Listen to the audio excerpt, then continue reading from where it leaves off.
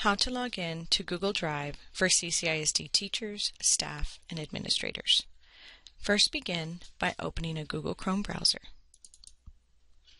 If Google is not set as your home page, click in the Omnibox here and type www.google.com. Once you have arrived at Google's homepage, select the blue Sign In button at the top right-hand corner of the screen.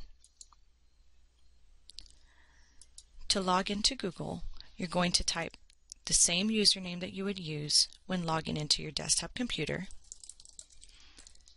with at ccisd.us added to the end. Select Next.